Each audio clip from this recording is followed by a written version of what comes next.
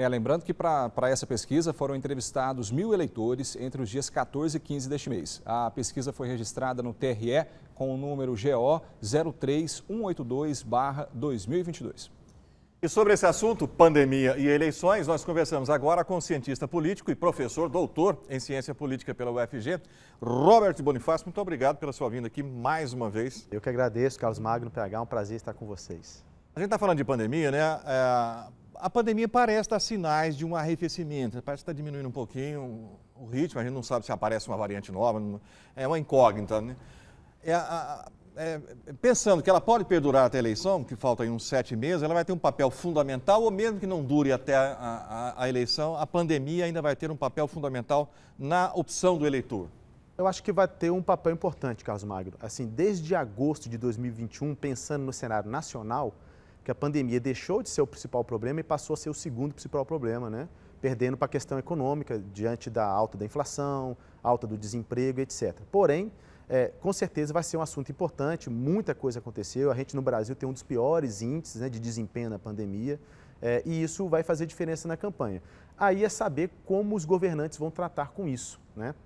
Certamente a, os governantes, é, os políticos do Poder Executivo, como presidente, governador, é, têm muita visibilidade né, na questão da pandemia, porque são eles que executam os recursos.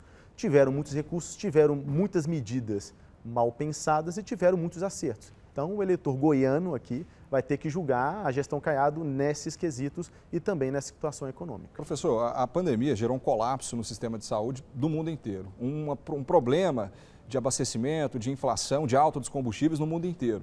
Só porque as pessoas não entendem ou muitas vezes não, não têm essa compreensão de que é um problema global e acabam colocando a responsabilidade na, naquela pessoa daquele momento. Os atuais governantes, eles podem ser prejudicados por conta de, uma situação que aconteceu no mundo inteiro, mas as pessoas têm dificuldade de entender isso? A pandemia, em termos políticos, assim, ela é uma oportunidade ou um problema né, para o governante. Depende da maneira que ele tratou.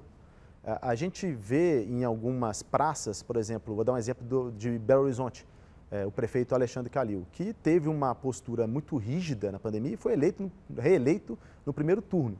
É, e agora a gente vai ver isso a nível regional.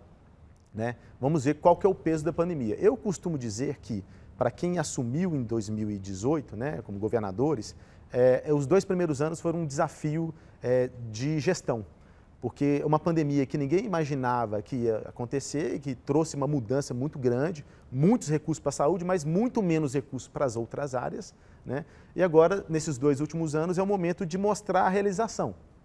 É, então, é, o grande desafio para os incumbentes, para quem está no poder, é mostrar que fez um bom trabalho na pandemia e que está lidando com o problema econômico que a gente vive em todo o país. É, e quem está fora, quem, quem não está na gestão, né, não é candidato à reeleição, tem que ter um discurso que, que contemple a, a pandemia. Tem que ter um discurso que contemple a pandemia e uma questão estrutural é que se em 2018 foi um bom momento para, entre aspas, aventureiros e novatos na política, Agora, em 22, as pessoas vão estar olhando, olha, a gente viveu uma pandemia, foi muito grave, muitas pessoas morreram.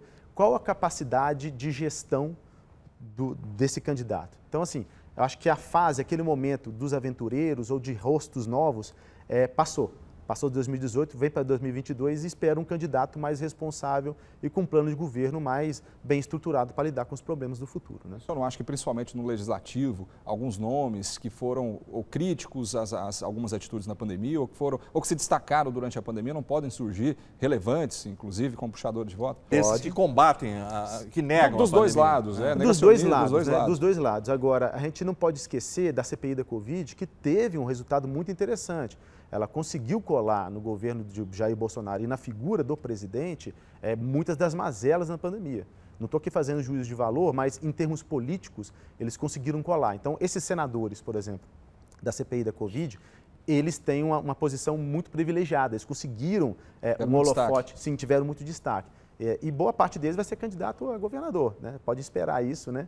E, e a gente vai ver né, nas eleições o quanto que a pandemia ainda vai ressoar dentro do eleitor. Só que eu aposto que, embora importante, é, não vai ser a, o único tema da campanha. A questão econômica vai pesar muito, a gente vai continuar em crise econômica até lá, é, e aí você precisa de um gestor que traga alguma tonalidade de responsabilidade, de pé no chão, para lidar com um cenário econômico catastrófico e com o fim de pandemia. Rapidamente, porque nosso tempo está acabando, o, o, o, governador Caiado parece ter se saído bem nessa situação. Mesmo aliado do, do Bolsonaro, que nega a pandemia, uhum. ele, ele fez investimentos e, e, e a, a, nossa pesquisa revela que ele tem um, um bom retrato na, na saúde. Sim. A partir da pandemia, ele se equilibrou entre aliado de Bolsonaro e até mesmo como opositor.